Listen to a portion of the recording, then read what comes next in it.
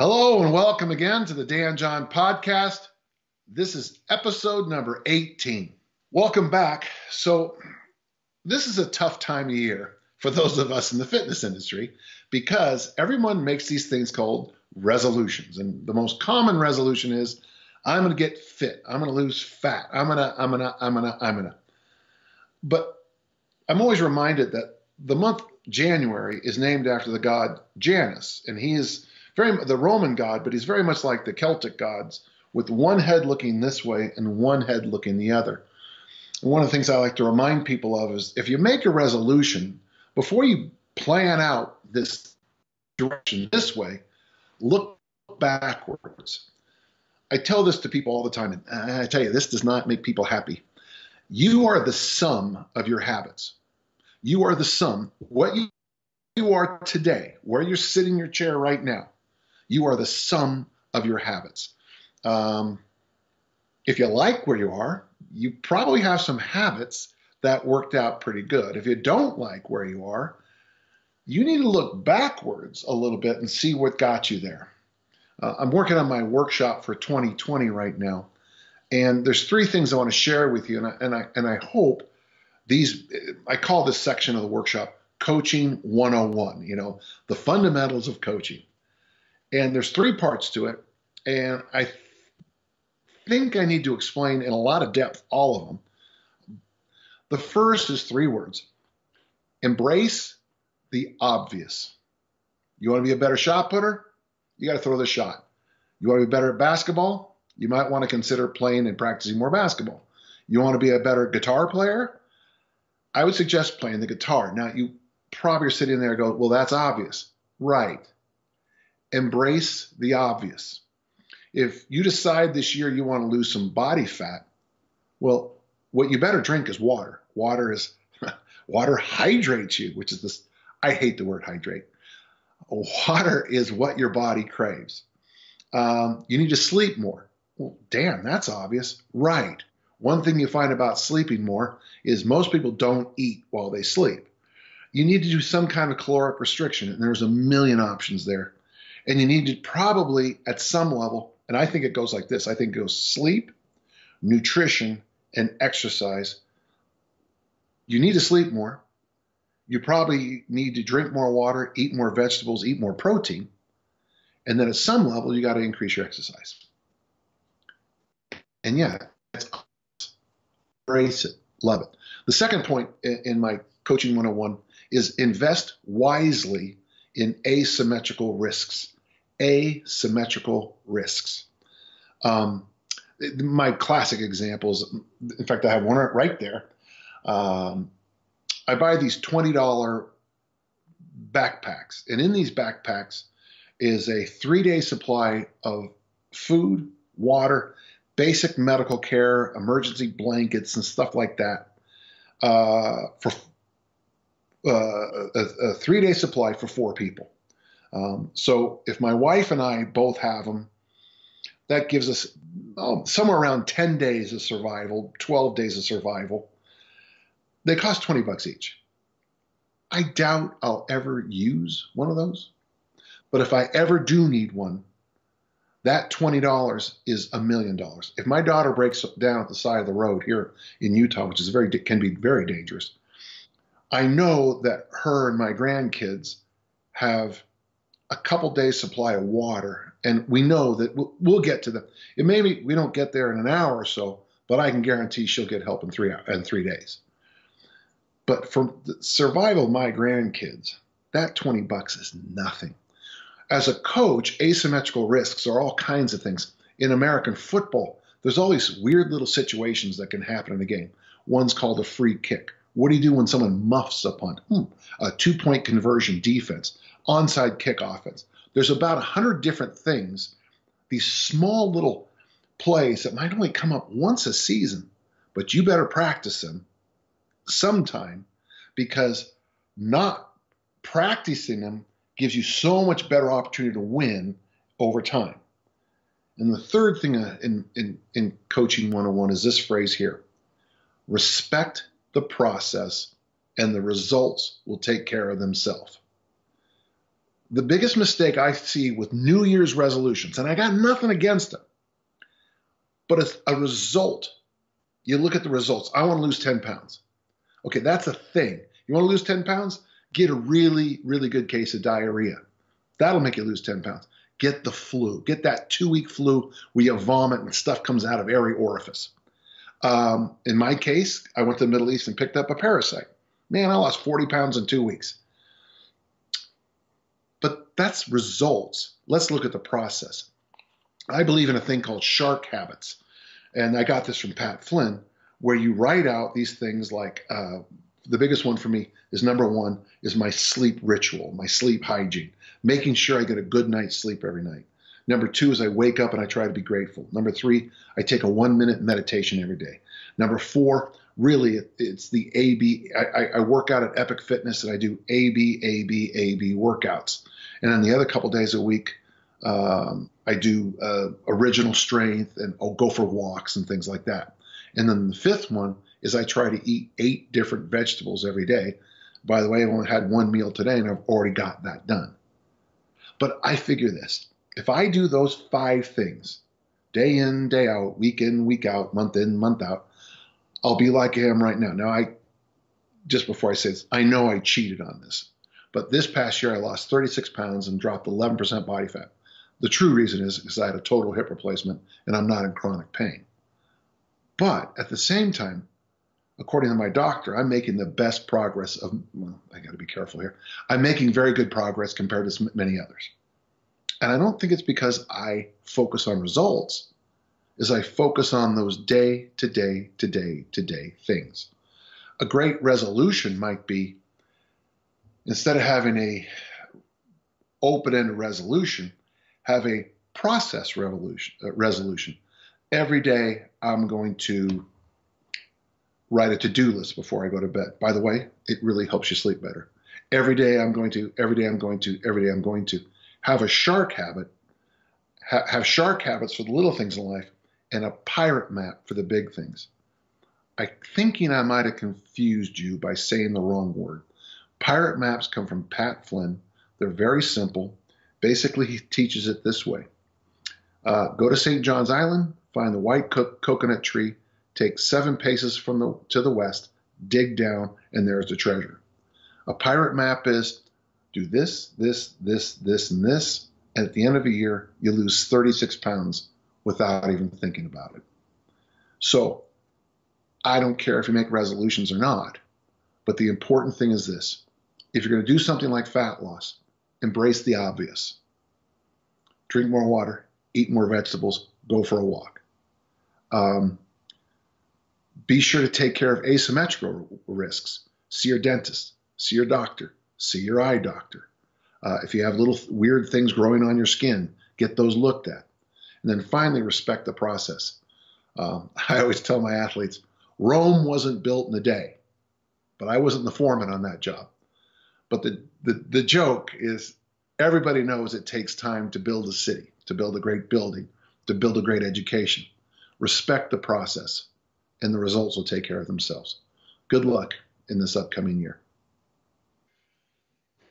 Okay, we got a question from Eric. I'm an idiot. Well, hold on. I got to stop you right there, Eric. Do not call yourself an idiot. Let all of us call you an idiot, okay? I'm here to help. I'm an idiot who tries to train everything at the same time the powerlifting barbell lifts, higher rep kettlebell work, distance running, and sprinting, while also playing recreational indoor soccer a few times a week. The Olympic lifts have helped my soccer performance and that's interesting, more than anything else, but I always end up compromising recovery whenever I add heavy Olympic lifts to my training.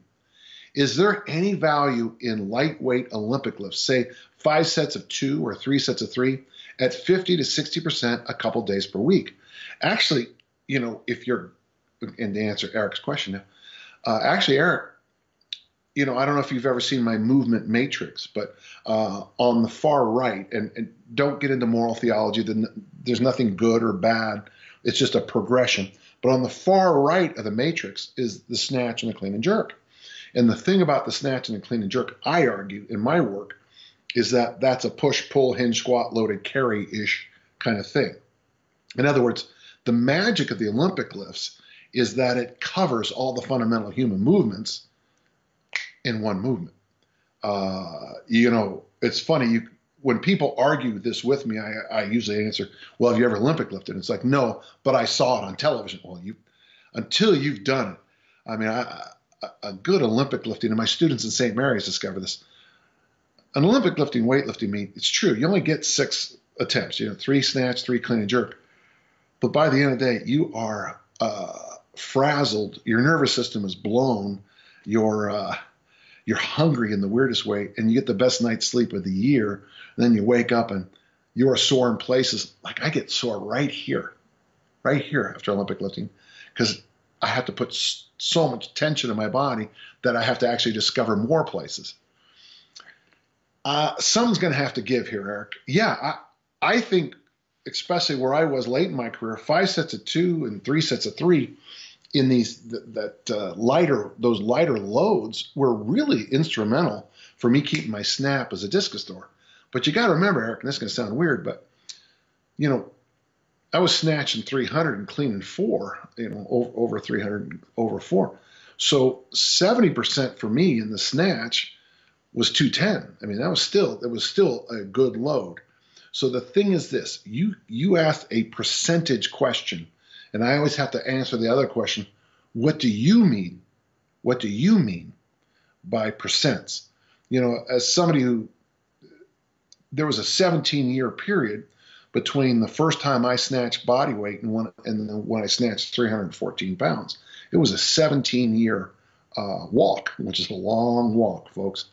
But so when I talk about percents, I talk about maximal lifts, lots of pressure on the platform, make or break kinds of things.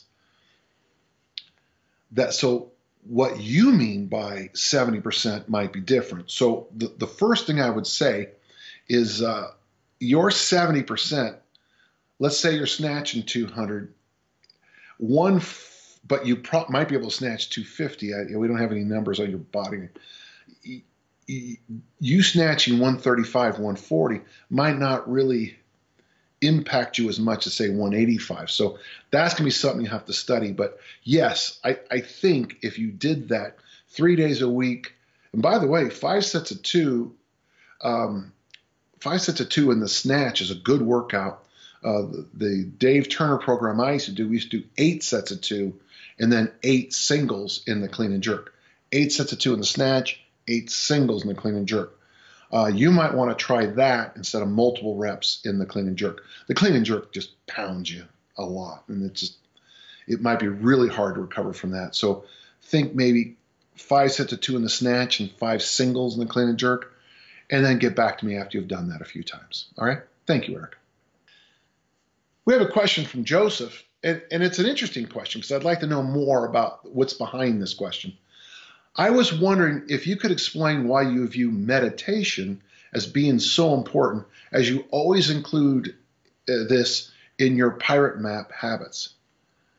Well, it's it's a good question. I mean, you know, my background in religious studies, religious education, theology might be part of it, Joseph. Um, there's there's an interesting tradition. Now, I call this park bench and bus bench, but there's an interesting tradition in what I'm about to tell you.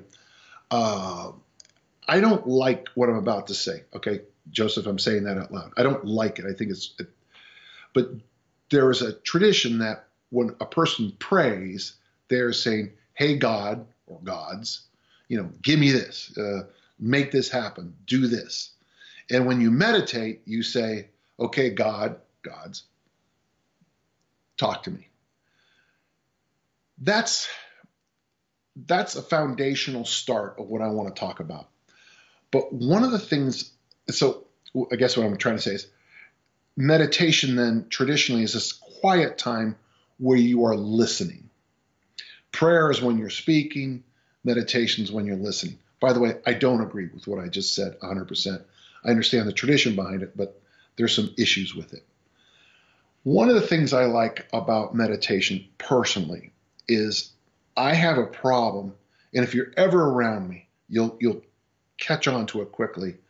Um, I'm a multitasker's multitasker. Uh, I'm constantly, you know, even as I'm sitting here, I want to straighten up my ruler. My ruler wasn't was where it was supposed to be, so I want to put my ruler back. And oh, um, so my day planner wasn't on top of my journal where it's supposed to be, so I want to fix that right now. Oh, did I turn off my phone? Oh, let me check my phone. Okay.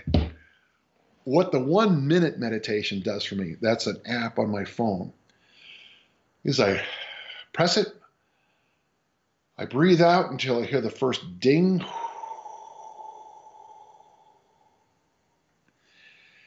And then I try to count my breaths, my breaths in that one minute. And I try to get around six. After workouts, I do the same thing. I press it, and my breath count is much higher. But here's what I find I do it again, and within about two minute and change, because I have to press the button twice, my I'll notice that my first round of breaths are about 12, and then I'm at eight or seven on my second. So I am consciously, probably physically, emotionally, spiritually, bringing everything down. With my extended meditations, uh, Joseph, what I'm trying to do is teach myself to stay single focused. I'm a big fan of guided meditations. And um, my family has a little joke for my guided meditations. They call it Dad is napping. And sometimes I nap. I do fall asleep. Now, if you fall asleep while you meditate, generally that's a sign that you don't get, you haven't had enough sleep. But in my case, I've noticed now that I in these 15 minute meditations that I'm in that weird place where I'm right on the edge of sleep and right on the edge of consciousness. So I can hear like my wife in the living room. I, I can hear uh, my grandkids watching something on Disney. I can hear it, but there's no reaction. So for me, Joseph, meditation is a tool I use to train my mind to push out all the squirrels and all the noise that, that hits me constantly and allows me to, to stay focused on one thing. You know, Joseph, you might not need it, but I do. Um, I'm I I know this. I'm I'm kind of built different than a lot of people. Um, uh, mean, I have master's degrees in history and religious education. I can teach I can teach you American football. I can coach you in American football. I can coach you in wrestling. I can coach you any event in track and field. I can. I'm a strength coach. And here's the funny thing: in a one week period, it's not unusual for me to do all that, literally all that. I, at one time, I could teach economics, history, and theology at one school. I did all three at the same time, sacred scripture, and coach different sports. So I can multitask. But the problem with multitask sometimes is when you're multitasking all the time, to get yourself to go like this and take care of your taxes. Be truly present with the ones you love. I personally need the tool of meditation to help me through it. We have a question from Guy. I get the sense that Guy is from England because he spelled armor wrong. My question is on the armor building complex. Uh, real quick, for those who don't know, double kettlebells, two cleans, one press, three front squats. Is it effective with one heavy bell? See, here's the thing about that guy. Yes, but you have to make one small change. The load on the squats is going to kill you. So, so you're going to do single. You're going to go one, two, single, one, and then one, two, three. You're going to put the bell down. You're going to, you know, catch your breath. We have to do two cleans, one press, one, two, three squats. Now, here's the thing you've done six squats. You've done six squats, what you've pressed here and pressed here. So if you decide to go with the single bell, now I, there's a logic issue here. You're probably hearing it already. But what happens is to get the mix. So if I'm doing doubles, okay, and I'm pressing the same time, one, two, three squats. So you need two rounds to get your presses and cleans in. You got that? But in those two rounds, you did six squats. So the upside of the armor building complex with a single bell is that you're going to find you're going to find muscles you never knew because you're going to have to uh, lock down with that X. So I got the load here and I'm front squatting. I'm to have to lock down my whole, this whole X to my left hip really tight while I do those reps. And of course, the opposite this time is like doing suitcase carries. So it's so it's this. I don't know if it's better or not, but it's clearly harder because a you're doubling the number of squats to keep the arms uh, the symmetry and the press and clean, and you're having to uh, tie that X the whole time through every single set and rep. So yes, it's very effective. I don't know of any moderations that actually work uh, you go, well, no, that's not why. Why even mess with it? Stick with the two cleans, one press, uh, three front squats, and just remind yourself that you've bargained for a, a harder, longer workout doing it this way. Um, if harder, longer is is better, well, find out, and you're going to get back to us, okay, guy? Okay, we have a question from Jeffrey. I'd like to hear your thoughts on how to train, practice dialing up and down arousal when you need multiple levels in a single activity like, right, like rock climbing. Well, I wouldn't want your arousal too high when you're rock climbing, but I, I wrote a book called Now What, and, I, and there's there's chapters on this. But one of the ways, well, there's there's there's two things. Let's just separate them out as best I can. First off, you can use your physical skills to help you with your mental arousal levels. And that's why, for example, uh, if you need to calm down, uh, bring your arousal down, getting warm, take a sauna, uh, do some jumping jacks, uh, go for a, a run, uh, put on a sweatshirt, put on more clothes, uh, shake your arms out, you know, wiggle your jaw, smile, will bring your arousal down. If you have to raise your arousal, you can take uh, three buckets of really cold water and pour them on your head. One, two, three. It's called dousing. Uh, I can slap you across the face. That'll help your arousal levels go up. In fact, I'd be honored to come slap you across the face, Jeffrey. Um, so you can use the physical side to practice getting arousal up and down. For training, though, on the mental side, you might want to put yourself uh, you, you, you, for throwers, for example, we do a one throw competition to make them practice arousal. Um, you get six throws in a track meet, well, three and three. But sometimes it comes down to one throw. You're going to either win the nationals or don't, make the finals or don't. Um, so I have my athletes practice one throw competitions where I really just say, here we go. You know, what, what are you made of? Um,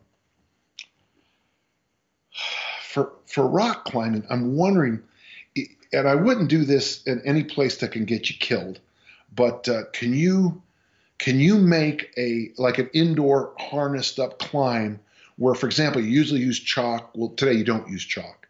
Well, not using chalk is going to change the game. Um, maybe you make a combination that is really, really difficult followed by a combination that's really, really simple. So what we're doing is practicing changes in arousal levels. Um, maybe um, dangle something if, if, it's safe. I don't know, but I'm thinking about if you had a harness and you dangled like a something like a kettlebell or dumbbell below you, and someone was to swing it. So as you're trying to climb, and don't go very high, and make sure you're strapped in. So as you climb, things are changing, or even something as simple as maybe a a, a band or a rope that I can just tweak you just a tiny bit when you're trying to hold, maybe uh, pretend like I'm the wind. Any now you know more about your sport than I do, and if these are safe ideas or not. But what you always want to do is practice appropriately, and that's what arousal training is. Um, if you do the same climb every day, every day, every day, you're really not going to improve. What you want to do is mess around with the dynamics and see how you respond to it. And so, yeah, um, we practice dialing it up and down constantly in American tra- uh, in track and field. It's just it's just part of who we are. But I think in your sport we could add some of that too. Darren asks, I wanted to ask how do you program DeLorme and Watkins? Do you use this approach for push, pull, hinge, squat at the same time or only specific exercises? Uh, you know, Darren, I've written about this and I'm pretty sure it's on the site danjohnworkshops.com. Check that. danjohnworkouts.com. Um, it's in the area called easy strength. Yeah, program it all the time. Um, it's difficult because as much as I love the three sets of eight uh, protocol and the one minute rest, which I think is outstanding. I, I, so we use the three sets of eight protocol with one minute rest in between. For most people, we have to use machines to make it work. Um, I can do it with barbells and things like that. So there's a couple programs I want you to look up, Darren. Uh, you can just type it online. Uh, Darren, I have a program called the Transformation Program. Again, all this is available. DanJohnWorkouts.com. Uh, one's called the Transformation Program. So type in Dan John Transformation Program. There's also another one. If you type in Dan John and DeLorme, you'll find how I do it. Uh, I've had I've done this with kettlebells. I've done this with a lot of things. The the biggest problem with the DeLorme protocol, and everybody finds this, is it works tradition like the usual tradition about four to six weeks, and then you have to change the rep schemes around. Um, but during that six weeks, it's marvelous. Um, I still don't know of a better training program than three sets of eight with a minute rest in between. Um, the only problem is that third set is where you d- define load, and uh, you have to be very smart about how you increase load on on these DeLorme pro, uh, protocols. Um, Bryan Mann, who's now a professor down in uh, University of Miami, did a wonderful job. Basically, on the third set, if you can get up to 15 reps, it's way too light. Go up. 12 to 14 reps, uh, 11, 12, 13, 14 reps. Uh, you still probably can go up, but you know, don't be crazy. If you get eight, nine, or 10 reps, you're probably in the right wheelhouse. You could go up. If you only got seven, stay with that weight. If you only got two, three, four, five, or six, obviously the load's too heavy. Go lighter next time. Uh, but the bugaboo with DeLorme Watkins is the load progression over time. Uh, what you'll find is three sets of eight with a minute rest works great for a while. Then you have to switch up to something like five sets of five, maybe five sets of three, and go from there uh, to allow the loads to go back up. I hope that helped. You have to do some more research, Darren, and then you're going to get back to me, okay? Thank you. We have a question from Oliver. I'm 26. He's six foot one with long arms. Uh, my son in law has that issue. My question is this Do you ever alter lifts or change exercises for a person due to their body proportions? The correct answer is yes. So I learned this when I worked with the Utah Jazz. You know, uh, I used to kind of make, and this isn't fair, I used to make fun of the guys because they were so bad at the bench press and squat and most lifts. And then one day I was I was spotting Walter Palmer, and he was back squatting, and the joke is, you know, you, you spot him like this, because they're so tall.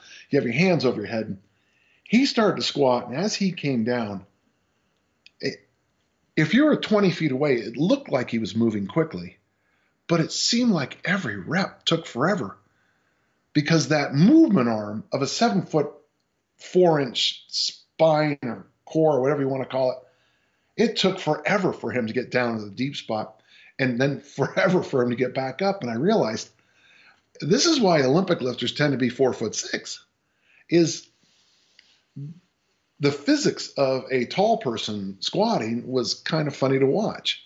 So it, just to get on to Oliver, my long arms, wide hips, and broad back make carries, deadlifts, and squats easy but my presses have always lagged behind by a considerable margin. Um, there's there's no follow up question to that, but yeah, that's gonna be tough. Um, long arms and wide hips. Uh, the long arms is is the issue there. I mean, you just have a longer arm. I mean, uh, it's it's physics 101. You know, uh, uh, it's that is just true. So yeah, um, so you're gonna have to rethink. Like when you look at uh, standards, for example, or somebody else's standards, one of the first things you're going to have to do is, is that appropriate for me? You know, like when I say I think everybody should be able to clean and press body weight, snatch body weight, and I just, eh, I just wave it off like it's nothing. Uh, that might not be true for a seven foot four guy.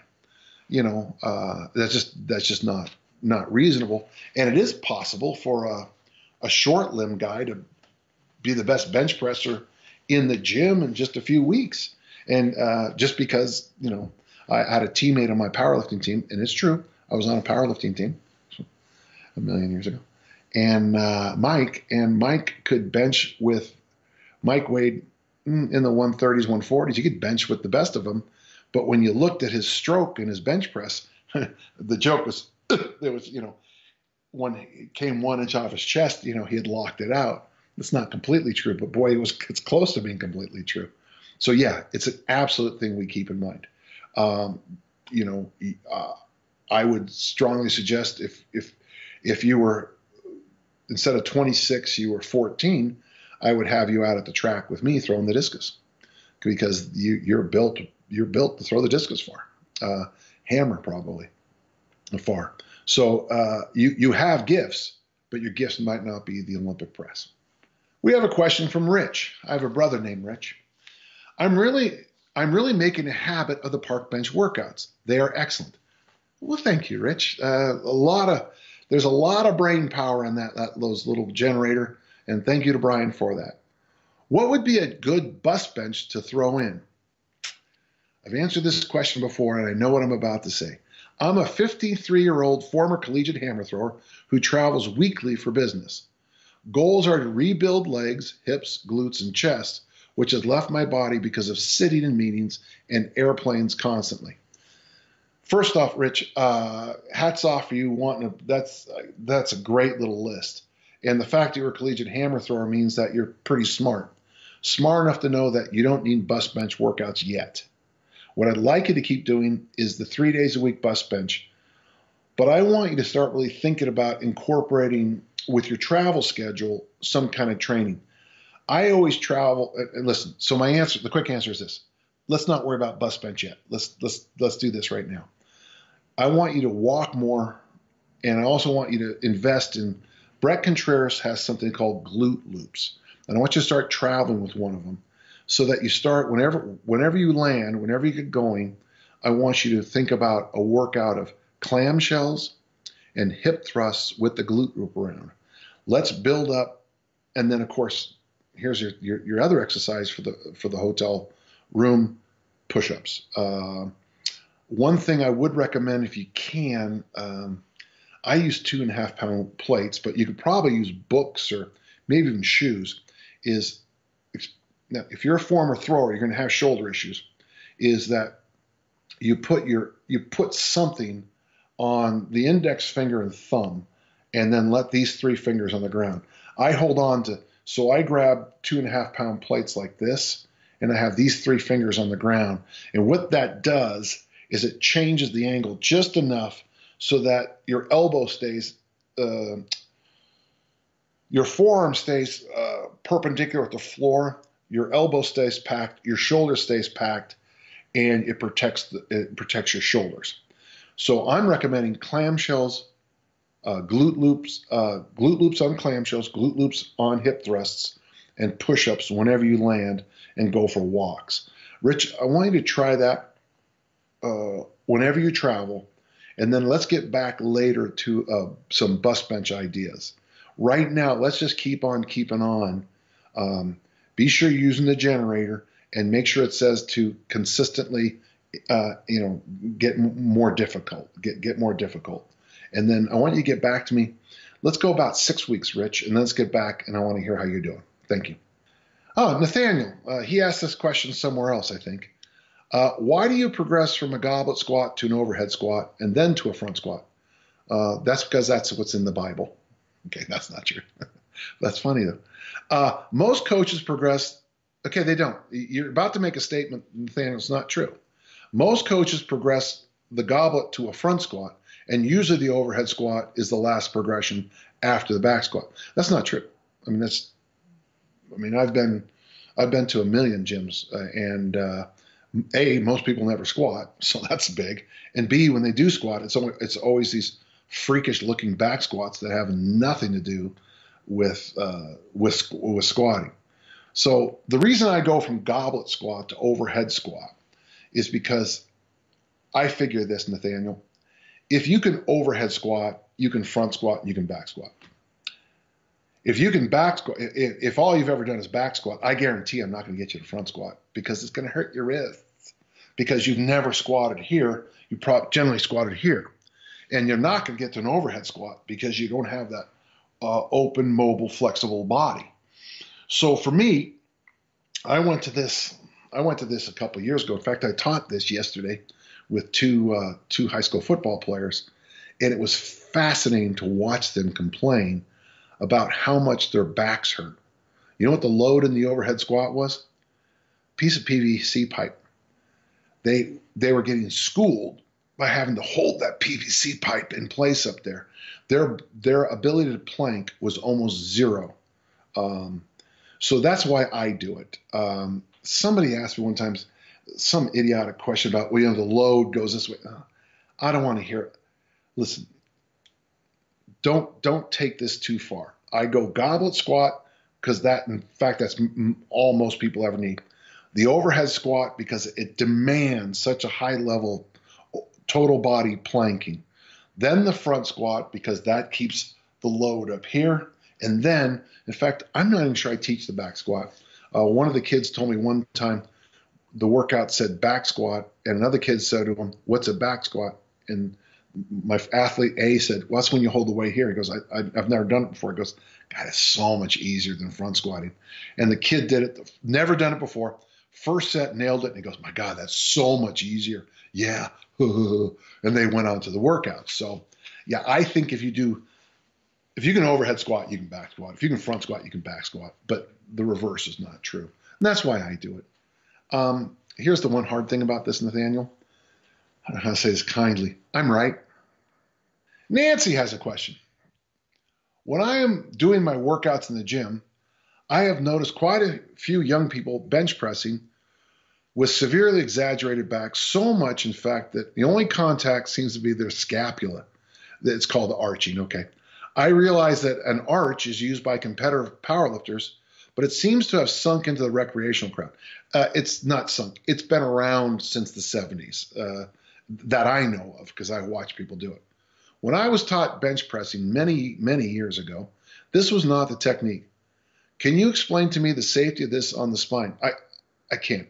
I don't think it's safe on the spine, but I can't explain if it's safe or not. I, I, I'd prefer you not do this. Is it a high risk or am I just too old fashioned? No, Nancy, not old fashioned at all. You're, you're, you're in this terrible place called being right. Um, and it's my knock on so much training in the last 40, 45, 50 years. You know, these young kids are trying to just get more on the bench, and more is just more. Uh, the hard thing is, all that tossing like this isn't going to carry over in the field of play or even for the physiques that they're trying to build. Now, I got nothing with trying to lift more weights, but you got to do it right. Um, I understand CrossFit uses this concept called slop factor or something like that. I am so against crappy reps. I don't know how you would ever, in good consciousness, conscience, allow that to happen. Because all you need to do is get hurt once, and you could be hurt forever. Um, no, you're right, Nancy. Um, when I mean, I, I do think you should have a, a, you know, your butt should be on the bench, your your your shoulder, you know, whatever you want. You said scapula, that's fine. And then in the middle, you do want to have an arch. You want to bring that because you want to bring that chest up. Uh, you want to, you know, you want to squeeze your lats. You know, it's part of the lift. But yeah, you're right. I I, I agree with you. Um, but I also see Nancy. I mean, you could ask the same question about these back squats that people do in the gym where they get to one eighth. You know, the, the, their their knees barely bend. You know. Um, that nonsense, or the the guys who do good mornings instead of squatting and they call it a squat. I, um, one of the worst places you can go for uh, exercise information is the gym. So no, you're right. You're right. You're right. So do it the right way. It's a tough lesson, you know. Uh, to me, arching is a shortcut, and I got nothing against shortcuts in competition. If I'm going to try to win, I'm going to try to get you to win as fast as we can. Having said that, there are times in life where shortcuts just don't work. Uh, good question, Nancy. Zachary asks a very nice little question. I am curious about your thoughts on how heavy to go on swings. Um, Zachary, I'm a, I'm, I'm a pretty good swinger uh, with kettlebells. Uh, for me, I can get up to the 48 and I can do good sets with about 10 or 15. I've done the 60 kilo kettlebell for swings. Here's the problem is once you go past, and honestly, once you go past the 24, you're in a very interesting cost to benefit matrix. So all you need with the 60 kilo kettlebell is one bad swing, and all of a sudden the physics kick in, and your poor spine, or maybe your that one disc by itself is like, I don't know what you want, but we can't do it. So if your swing technique is really good, really good, you can probably swing heavier. But what happens is, and I see people look like it, it it looks like a wobbling deadlift. It's not an actual boom, boom, boom swing. Um, I would say for most men, Zachary, that once you get past the 32, you'd better really have your technique locked down. Okay. For women, honestly, uh, I, I work with some women who are extraordinarily good at this this movement. Great hinge, great plank, great hinge, great plank, and I watch them hit that 24, and um, it just becomes physics. They're throwing it far, and you can see their feet grabbing the ground really hard. I had one woman tell me one time how she always knew she had a good uh, swing workout because in the middle of the night her feet would cramp up because they're grabbing the ground to counter those bells. So for me, let's just say this. Let's make a make up a formula. Let's say 24 for females, 32 for men. Occasionally you can go heavier, but boy, take a moment to ensure that your technique is spot on and there's value in going heavier that day. We have a question from Harshvardhan. My sister is 33 year old is 33 years old. Harshvardhan, I'm married, okay? Oh, it's a joke. Okay. Uh, she is five foot four and she weighs 118 pounds, 118 kilos. Sorry, which is 260. She has been obese since uh, about almost a decade. Before that, she was just overweight. She has managed to reduce her weight on multiple occasions, ranging from 15 to 20 kilos. For my Americans, basically about you know 35 to uh, 44 pounds. But she gains the weight lost time and again. That's which is very big issue. Yeah, she has she has had her blood work done, and it is normal. And is five foot four, 260 with normal blood work.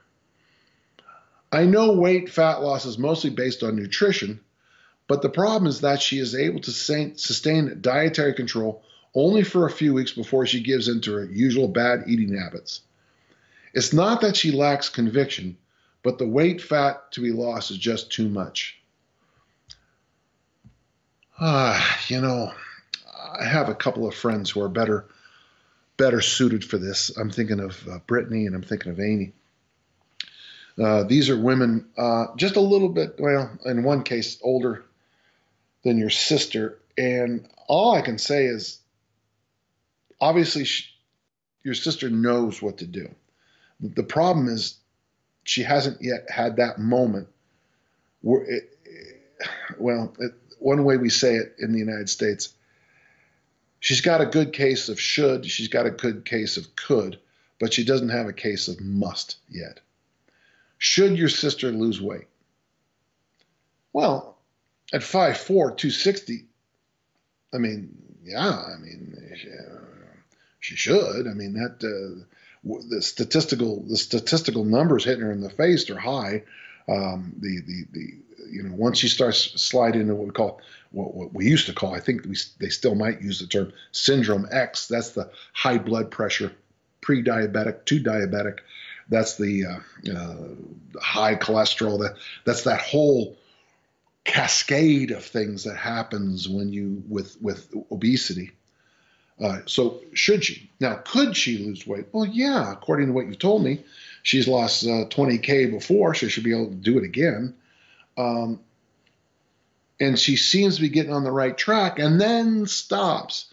And the reason is, uh, some of us would argue, is she doesn't have the must we. There's a must moment. Um, you know, I have had stories people tell me. Uh, one woman said, I am so fat, my husband won't touch me. And I, I didn't know how to respond to that. And yet, this woman still made no attempt. So, having her husband not touch her did not incur a must moment in her life. And yet, when you talk to people who've been overweight and have lost 100 pounds, all of them have literally a moment where everything changes. Uh, one woman, it's when her child said, I'm don't like you at school, mommy, because you're fat. And that was the must. That's That was the must. One of the easiest ways, easiest,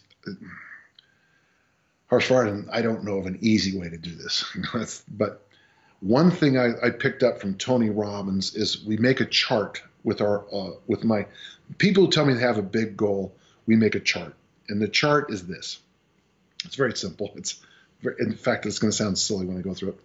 So if I do lose, and let's just say we want, I don't know how much you want her to get down. Let's say get under 200 pounds. Okay, uh, get get to 90 kilos. Okay. Um, do get to 90 kilos. Don't get to 90 kilos. The pleasure of that, the pain of that. And then you fill in the chart.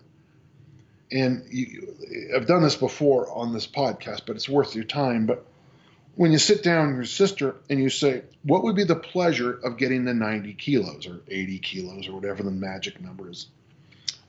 Well, the pleasure might be she fits into better clothes or she isn't in pain when she walks, or, or, or whatever those pleasures are, you write that in. Um, then you drop down what is the pleasure of not getting the goal? Now, when I first say this, people always go, What do you mean by that? Well, I would say this to your sister. Well, obviously, you get a lot of pleasure by weighing 260, otherwise, you wouldn't keep coming back to it. Boy, does that piss people off, man. Holy cow. You want to offend someone? That's your that's how you win. Right there is how you win. Um, wait, you must be getting pleasure because staying here, you, you you're staying here. There must be some pleasure. Well, and she might say, "Well, I get to eat anything I want." Okay. You are choosing the joy of comfort food or food versus um, not eating those foods. Um, is there any, and the next one over now is pain. Is there any pain in getting your goals? You know, uh, Harshvardhan, I'm one of the rare people in the world that's actually gotten the bulk of the goals they ever set up to have. Uh, I'm, I bet you I'm batting in the high 90s, and and I got to tell you in a strange way, you know, I, I think I mentioned this before on, with Bryan on, on one of our podcasts. You know, you're sitting there in a dorm room at Utah State University. It's been the thing you've been working for day in, day out for the past six years. And it's really loud because the freshmen are all jerks and they we're all going to fail by the first uh, quarter anyway. And they're all partying, they're getting drunk, they're throwing up in the hallway. And, you know, you're missing your family, you're missing your friends. Uh, you're sore as hell from training. You can't sleep because the, the dorm is so loud. And, and then you have to remind yourself, this is what you wanted. There's a lot of pain in getting your goals. I mean, you have to give up a lot. You have to sacrifice things that other people do. I'm not saying it's bad. It's just that there is pain in getting your goals. I'll tell you another pain is no matter what I've succeeded in my life, some jackass will always walk up to me right after I win the Pleasanton Highland Games or the national championships in Spokane. Almost within minutes, someone walks up and says, So, are you going to? And it's go to another Highland Games the following weekend, come back next year and defend it. You know, they do that at the Olympics all the time. You got that gold medal around the neck, and some jackass reporter says, Sorry to come back in four years and repeat it? And it's like, Dude, I barely had this thing on my neck for five minutes. Can I enjoy my five minutes? And then the last one is is there pleasure in not getting, uh, is there pain in not getting your goal? Is there pain in not getting your goal? This is a good one to focus on. And this is the one I want you to spend some time with your sister is what are the pains by not trying this again? What are the pains? I, am no psych guy. Uh, it's just not a, a skill set I have. But this is how you get people to that must. I must get this goal. Um, yeah, I failed on goals, man. I have. But it doesn't mean I haven't had the strive. Now, earlier in this thing, I talked about the process. And one of the things I think that's hurting maybe your sister, maybe, maybe, is that instead of focusing on, the results from now on, I want you to focus on the process. And the process is going to be this. The process is, let me just tell you how I would do it. Every night I would write up a to-do list, you know, a couple hours before we go to bed for her next day. I don't know what she does for a living. I don't know what her family situation is, but what are the things she needs to do tomorrow? So to clear that head, okay? And then from that moment on, she's preparing for sleep. I'd love it if you maybe go take a sledgehammer, go into her house and break every television set, uh, break every computer, break every iPad. Um, so after seven o'clock at night, she can only read books or read books to her kids or, or whatever. No TV, no blue screens, no nothing. And she has to sleep eight or nine hours a night. When she wakes up in the morning, the first thing she needs to do is take a moment aside and be grateful for something. Uh, I remember Pat Flynn telling me one time he's always grateful for butterflies, and I thought that was kind of funny. Um, I'm so it's I, am so grateful this year for so many things. Uh, that's actually hard for me to get through that every day. I've I've had such an interesting year. You know, I, I buried my brother one Saturday, and the next Saturday I walked my daughter down the aisle at her wedding. Um, that uh, that gives you a lot to think about. And then, okay, so sleep ritual, good night's sleep, be grateful, and then she has to drink water as her major beverage all the time. I'd love to see her do something like intermittent fast every day. Try to have fasting windows of at least 16 hours from last night's dinner to her first meal. I'd love it if she would exercise. I'd love it if she would stay focused on vegetables first. You know, it's the old joke I always tell people I have this perfect diet. You can eat anything you want. But first, you have to eat two pounds of salmon, a whole carton of cottage cheese, a dozen eggs, uh, one pound of salad. You see where this is heading, right? A whole carton of uh, blueberries. And then after that, eat anything you want. Or, uh, originally, it was like 14 items. Um, if she is proactive with eating the good food first, drinking, you know, drinking water first, eating vegetables first, eating protein first, fasting first, good things will happen. I'd love to see her fast, do some form of exercise, pardon me, and then eat. Um, your question is not unusual. You're not the first to bring this up. And uh, sadly, you're not going to be the last. And I'm here to help any way I can. Thank you. Well, as we close this year, 2019, uh, I would like all of you to consider what I, something my wife and I do every year is we take out a piece of paper and we write a top 10 list of the best things that happen and the worst things. Some years our top 10 list on great things is 18, 20, 25 things. And some years our worst list is one, two, or three things. Um, and I suggest you keep it because I've been doing this since 1986 or 87. And one of the cool things about doing this little list is it gives you a chance to to to be like what Janus January.